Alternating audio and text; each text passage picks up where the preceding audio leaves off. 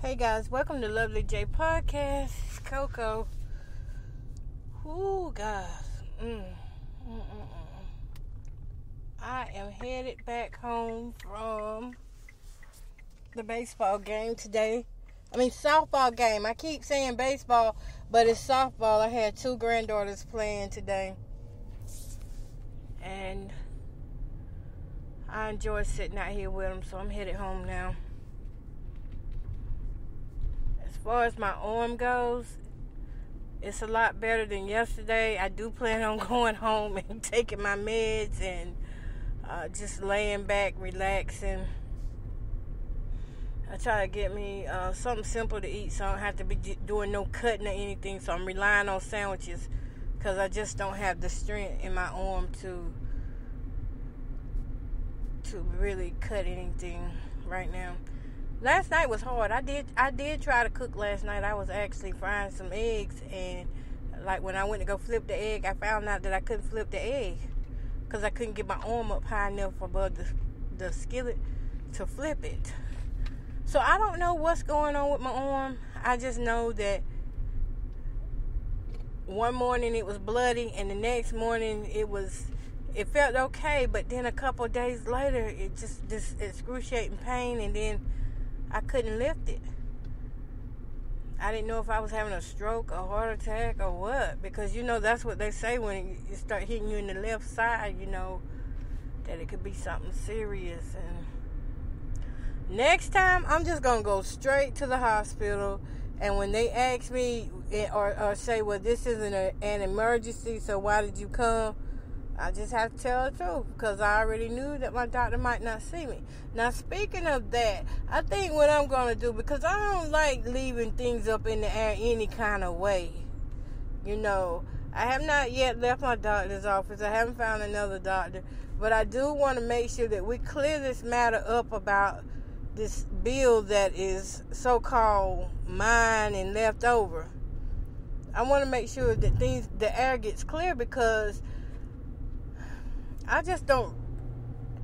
I, I, I can't say everything that I want to say right now because I want to save it for whenever I really do need to save it, just in case if there are any extra ears listening that I don't jeopardize what I have to say and things get switched around. But I do feel like I don't owe this bill, and that's one of the reasons why I didn't never pay it because I remember, you know, a bill being made but I never understood why it was left on me to pay when I had Medicaid and Medicare.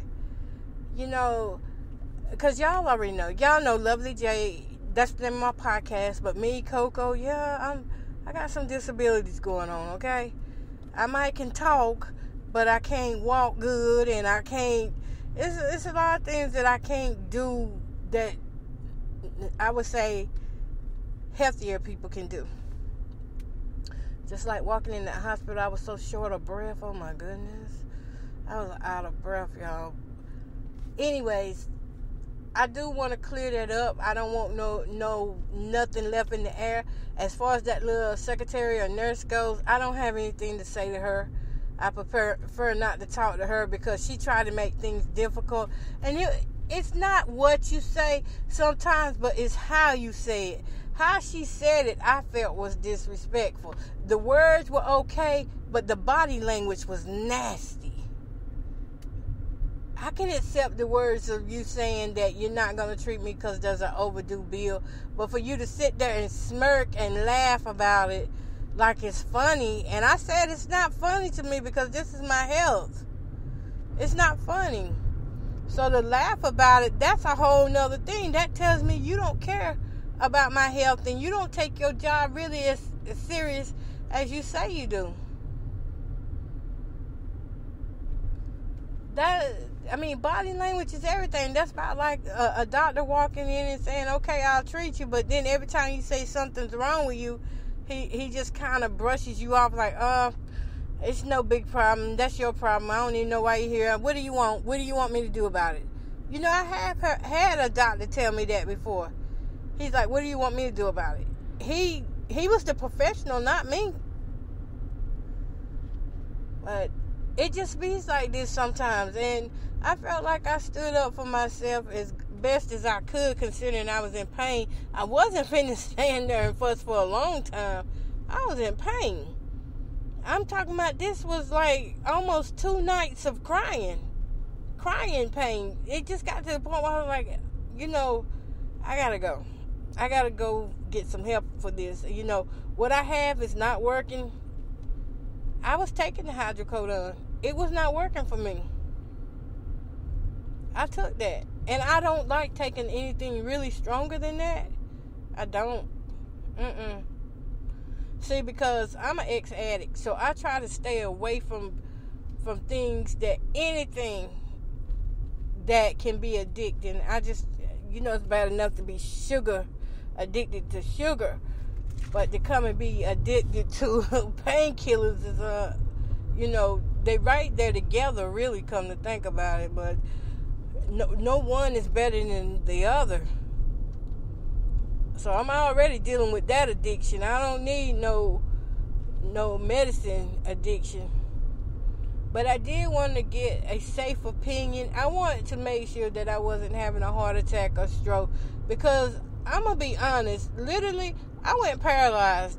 It was like being paralyzed. I couldn't I can say that I could feel I don't know what do you call it because I could feel pain in my arm and I could feel a little bit of the doctor touching my arm, but I couldn't lift my arm.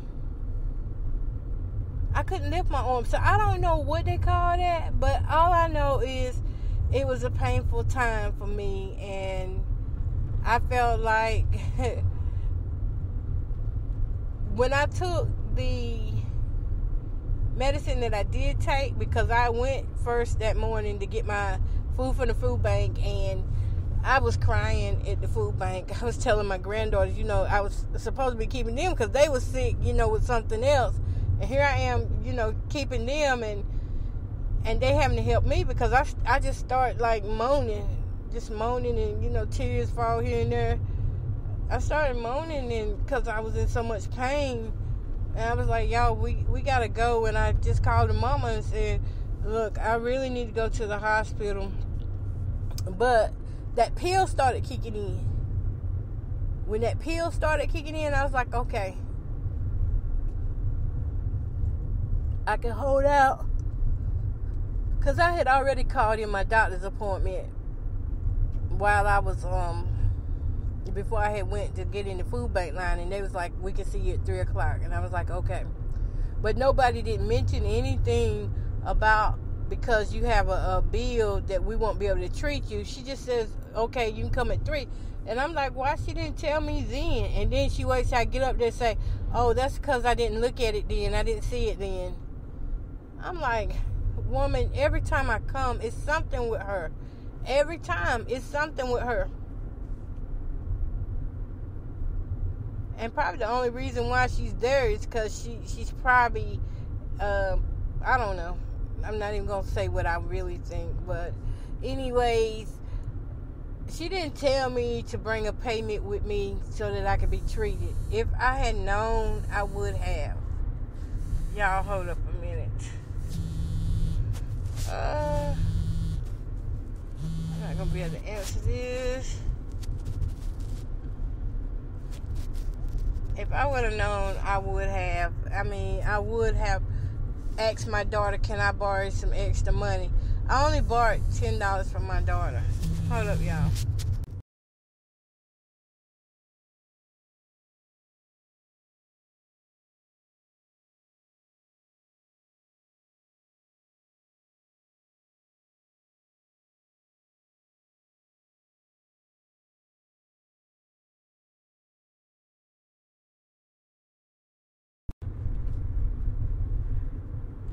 Okay, okay, okay. I'm back. I'm back. Just making sure I'm still on. That was my daughter. Okay. If she would have told me before we could treat you, please bring a payment, Miss Bowden.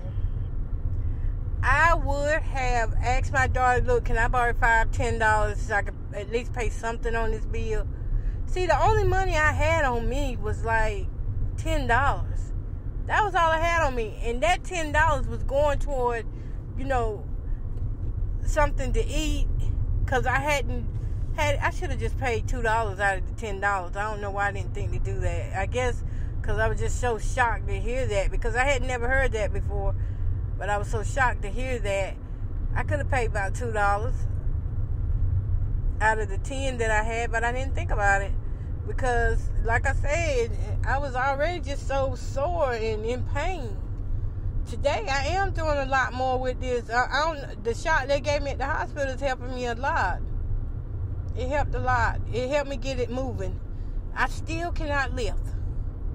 But my thing is, all she had to do was say, Miss Bowden, you have a past due bill. Now, if you can just bring us something, we can go ahead and get you treated today. But see, she the one made a big deal out of it and all this. Hold up, let me go get her. And then the other woman says, Hold up, let me go get her. Then another one says, Hold up, comes back to that one. Hold up, let me go check out something. No, I'm not saying that's what I said to you because I'm not saying that because I'm not the one that said it. She said it. And I'm like, Yes, you are. You said it to me. I didn't talk to her, I talked to you. So basically, it's this other woman that works in the office. She don't like nobody. You could look at that woman and tell she don't even like herself. I'm serious. That woman, you can tell she don't like herself. That's like one mean, evil woman. She only got that job because she, she knows how to insult people. That that woman is mean. She don't even give you a chance. I guess she call herself being hardcore, but that hardcore it don't get you nowhere. Cause this new generation don't care nothing about you being hardcore. We don't care nothing about that. We care about respect, which goes a long way. Now, if I owe this money, I want this man paid. And I and the only reason why, like I said, I hadn't been really paying on it like that is because I really did not feel like I owed him in my heart.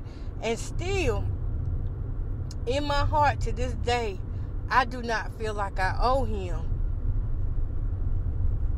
because it was too many stories told about how the bill came about. When that bill was made, that was my first time seeing that provider. My first time. Same office that I always go to, but it was my first time seeing the provider himself. I had never been to him before. That was my first time.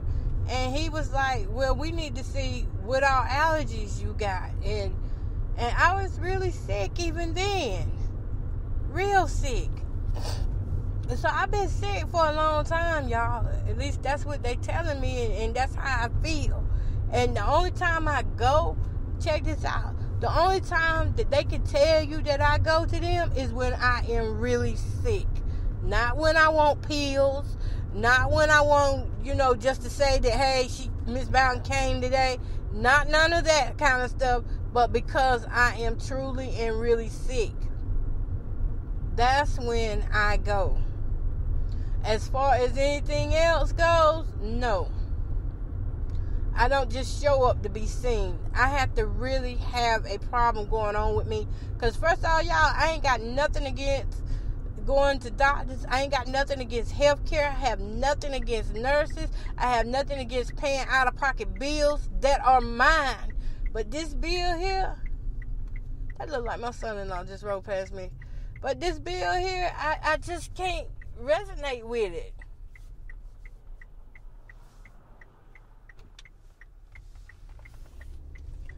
I can't resonate with it because it's like, oh, that turn just hurts.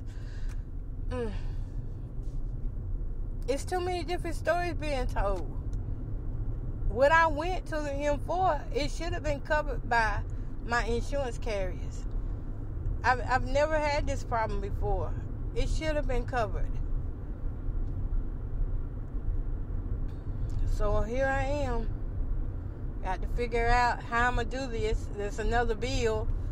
And I want, it's just so much into that. Really, it is. And truly and honestly, if I really do owe this man, he should be paid for his services because I respect health care. you know how many people can't even get seen? well, I know, I know now because I'm one. but I respect healthcare. And I respect that if a man is work for his earnings and is higher, he should be paid. And I do agree, he should be paid, but I'm not the one to pay him because I'm not the one to pay him because that was my son. Because I had insurance. However, they filed it, I don't know how they filed it. I'm thinking that the same hateful woman that sits up in that office and seeing somebody else to do her dirty work, I'm thinking she's the one that messed it up. Because she's the one that's always like, well, come see me, come see me. She may know how to file this and that, but she know how to lie too.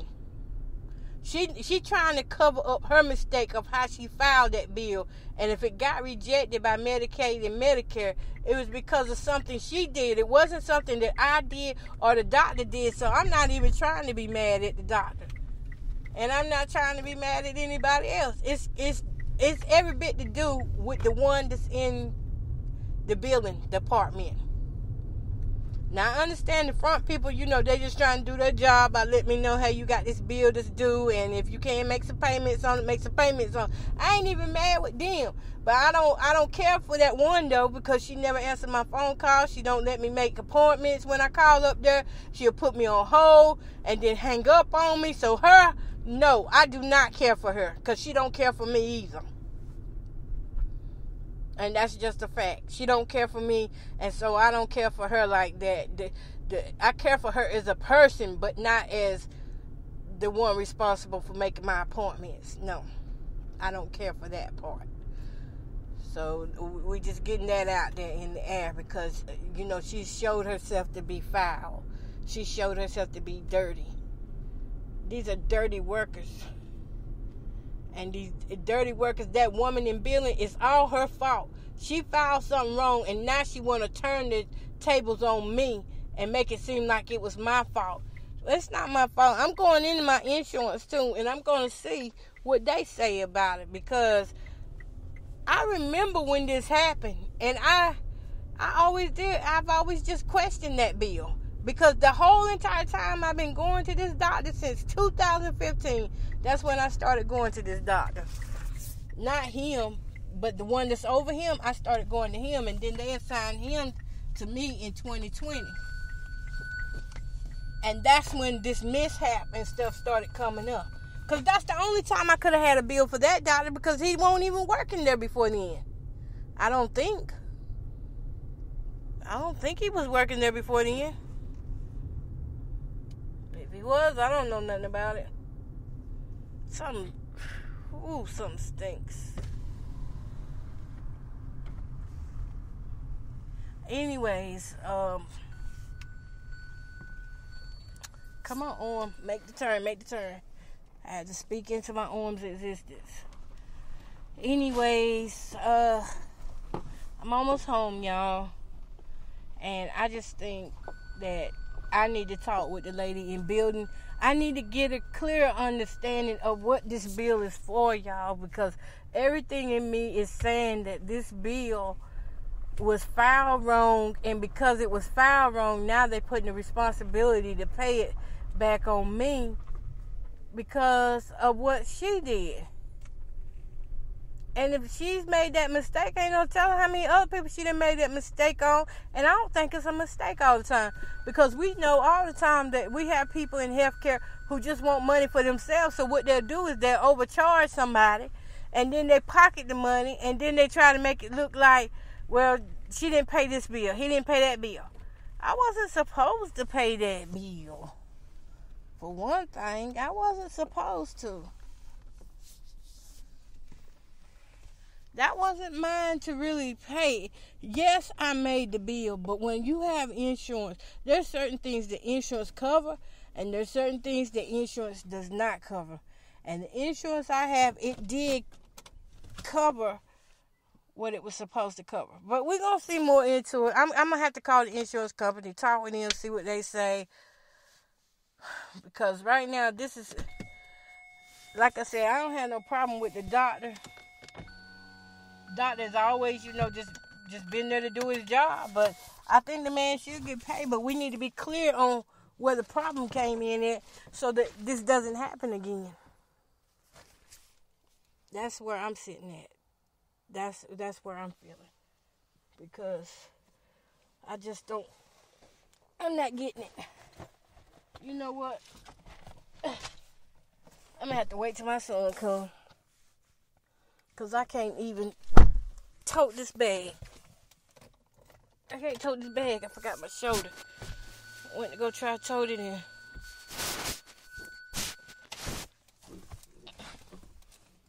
Can't do it.